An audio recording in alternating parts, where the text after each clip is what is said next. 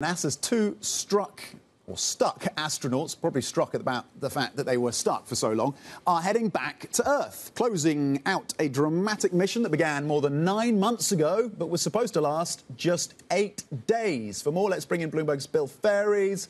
Uh, Bill, this has all been happening as we've been on air. What is, what is the latest?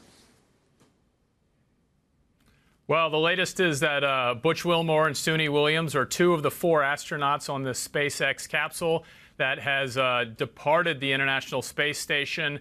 It is uh, orbiting into position to come through the Earth's atmosphere. It's expected to uh, parachute into the waters off the coast of Florida just around 6 a.m. New York time. Uh, and it, as you mentioned, it comes after the pair uh, have spent uh, almost basically nine months in space after expecting to go up for just an eight day journey.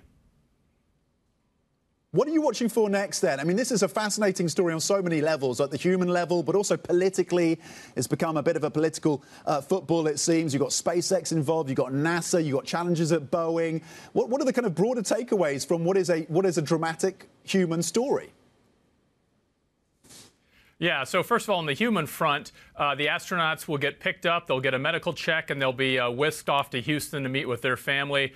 On the bigger front, there's going to be a lot of questions going forward. First of all, about Boeing, uh, the problems it had with its Starliner craft put a really a, a, big spotlight on some of the challenges their uh, their unit that focuses on space exploration is having.